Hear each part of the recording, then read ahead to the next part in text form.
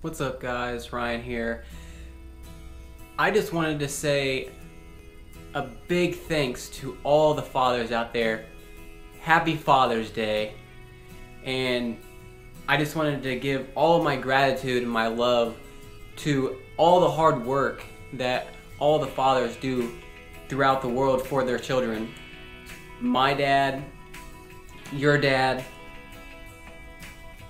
they put in so much time and effort and dedication into raising us that you don't ever know until you become a father of how much love it takes to raise a child.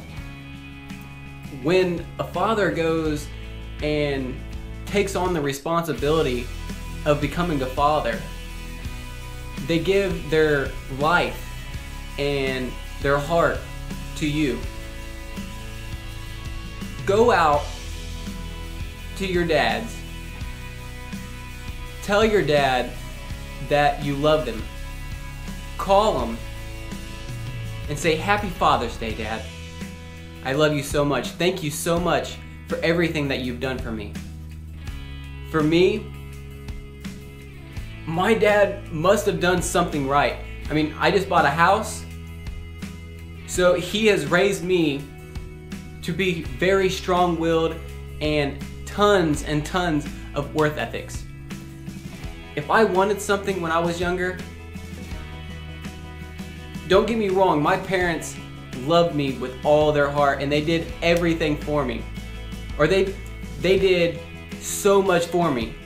But they've also told me that if you want something, you have to work for it. So you know what I did? I went out and I got me a job. I got me a job to pay for everything that I've had. Now, I'm not saying that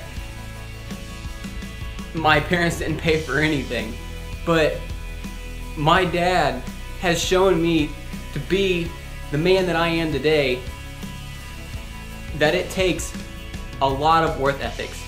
Something that I I truly truly have.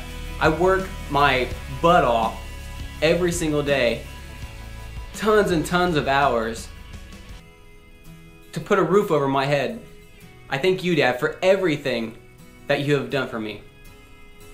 So, my message is go out there, call your dad, go to him, give him a big hug, tell him I love you, and say, Dad, happy Father's Day.